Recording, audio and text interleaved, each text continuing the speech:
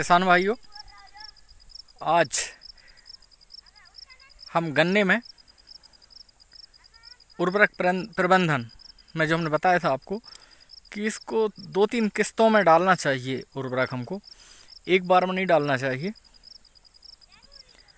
तो ये दूसरी किस्त हम डालने वाले हैं। ये गन्ना हमने 15 अक्टूबर में लगाया था। तो पहला एक बेसल डोज के रूप में उर्वरक दिया था। अब ये हम बीच में एक पानी दिया। तो ये तीसरा पानी लगाने वाले हैं। तो उससे पहले उर्वरक डालेंगे।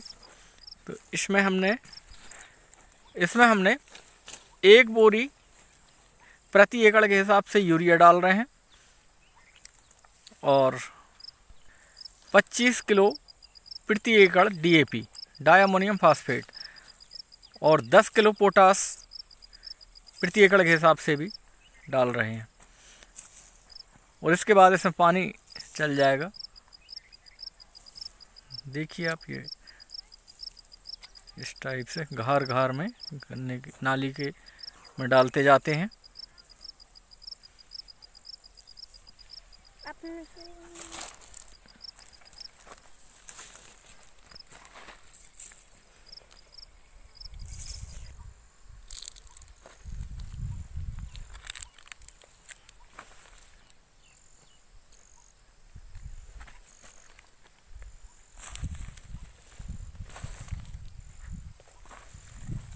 देखें किसान भाई, ये पंद्रह अक्टूबर की लगोद है।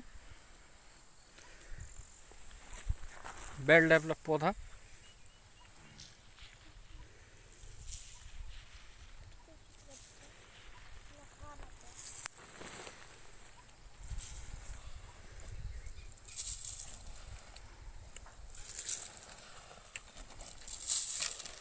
ये इस तरीके से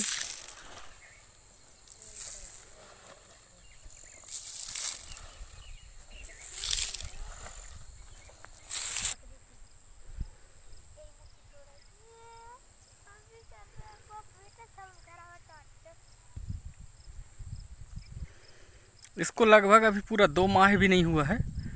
पंद्रह अक्टूबर से पंद्रह नवंबर और आज लगभग छः दिसंबर है। तो आप ये माने डेढ़ माह की फ़सल, डेढ़ से पौने दो माह की फ़सल। जर्मिनेशन देखें आप कितना बढ़िया आया है।